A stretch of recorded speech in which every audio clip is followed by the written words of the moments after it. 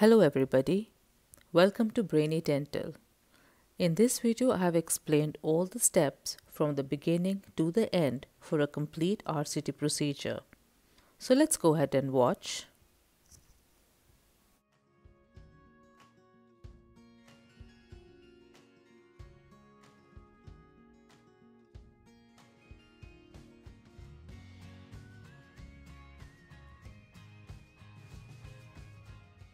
In an RCT procedure, the first step is access cavity preparation, which I had described in a previous video.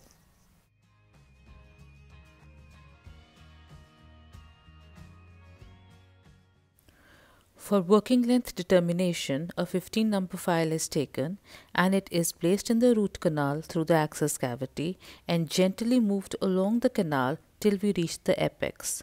Then with help of a stopper, the length is marked against the incisal edge. After this, the radiograph is taken.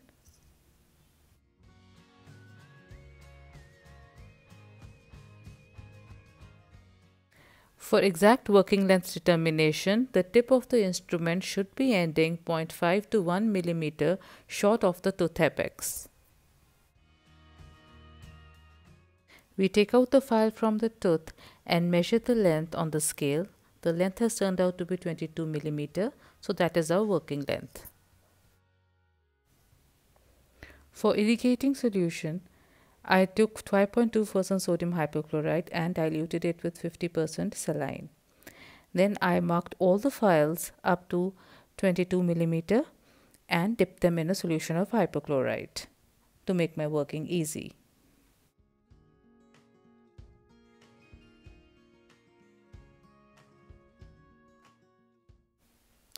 For pulp extraction, I am going to use 10 number barbed broach. I've inserted it in the canal, rotated it in a clockwise manner and pulled it out. So any pulp present in the canal can be removed in this way.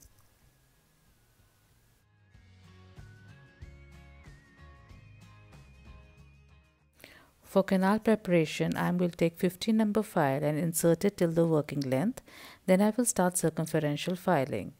That means I will move the file along the circumference while moving it in a up and down manner. That means I'll be rasping it up and down and move along the circumference. You can see we will continue with this process till our file becomes loose.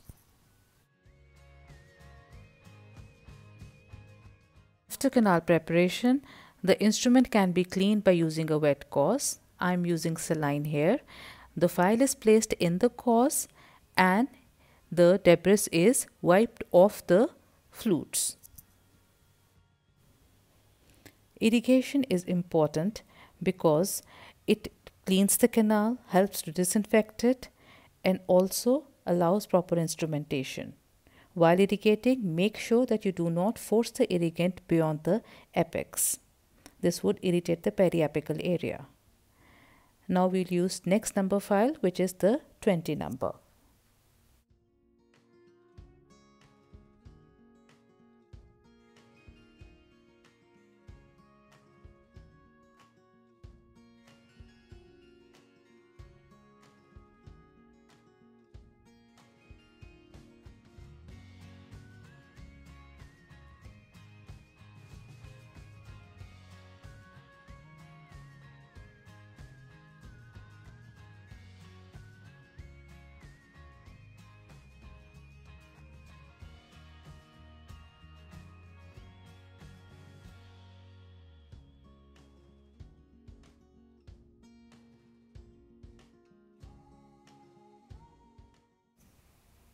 Recapitulation means returning to a smaller number instrument. Now we have taken number 20 here before advancing to a larger size.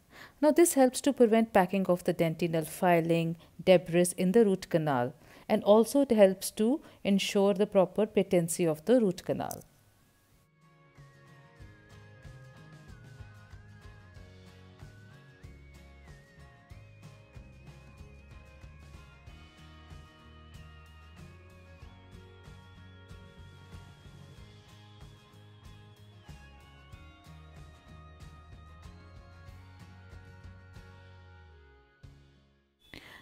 We are going to enlarge the apex till 45 number file. So our 45 number file will be the master apical file.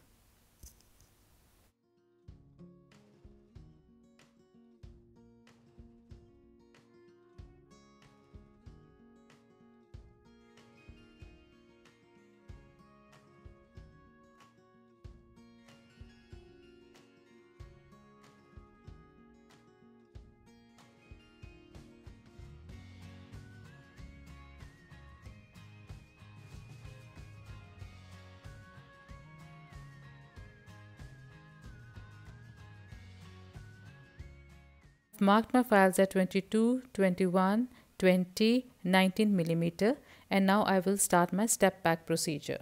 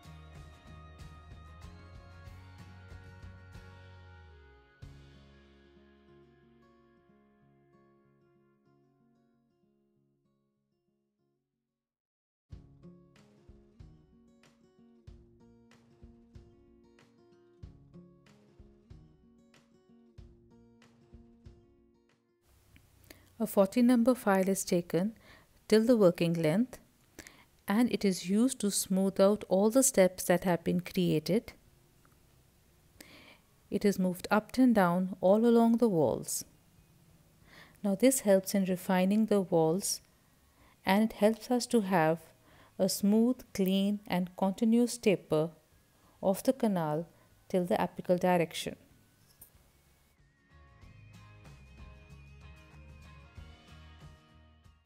Before we proceed to obturation, we need to dry the canal. For that, I have used absorbent paper points. This is the 30 number point. I've placed it in the canal. You can see it has got all wet. Now I will change it and take another one. This is a 35 number point and it has also got wet. So this way we continue to change the points till we get a dry paper point.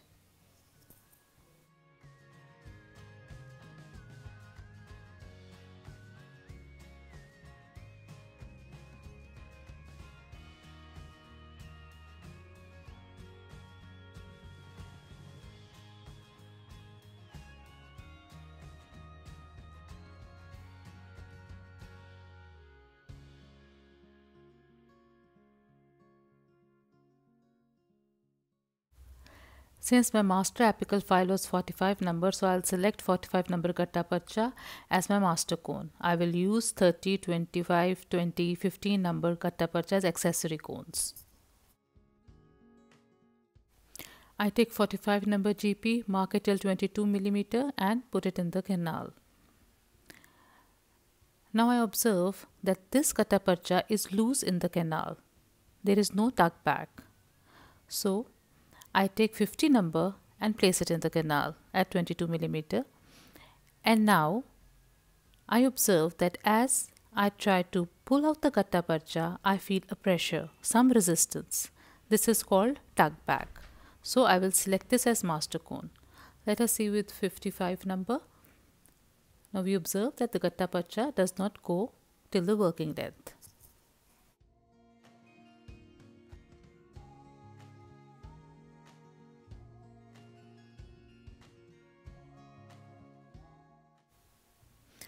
I have my sealer ready. This is my master cone 50 number, accessory cones that is 25 number, 20 and 15 number. These are spreaders 25 number and 20. Now I'm ready for obturation. My first step will be to coat the canal with the sealer.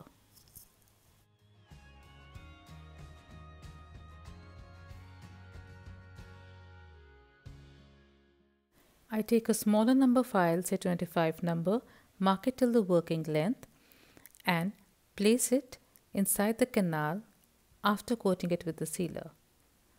Now I move the file all along the walls of the canal, coating the walls with the sealer. And once I'm done, I pull out the file.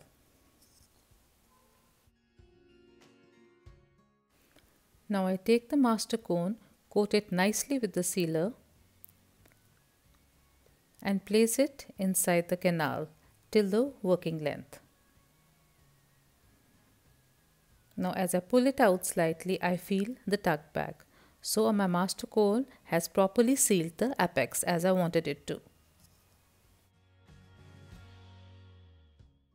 I take a spreader of 25 number, insert it in the canal and I start lateral condensation. That means I push the gutta-percha laterally onto one side. This creates space for the accessory cones that can be later put.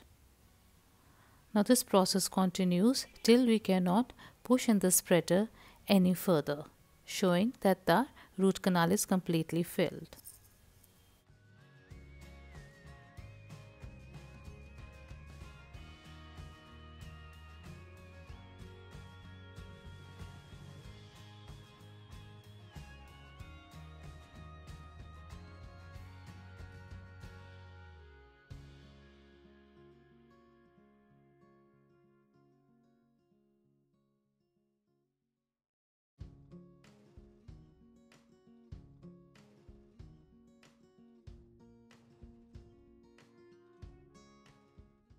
Now I've taken a plastic filling instrument, heated one end, end of it and I've removed the excess gutta-percha.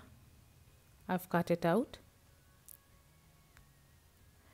Now I heat the other end and I use it to gently compact it inside the canal orifice.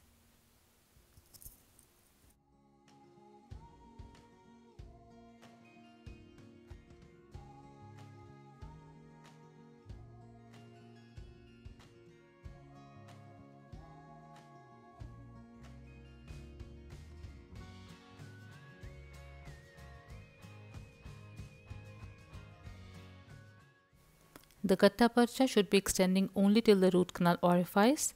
The chamber is cleaned and the restoration can be placed in the access cavity.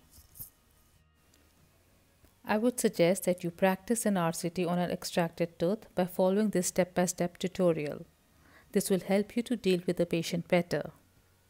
Do like this video, share it with your friends and subscribe to the channel. Thank you.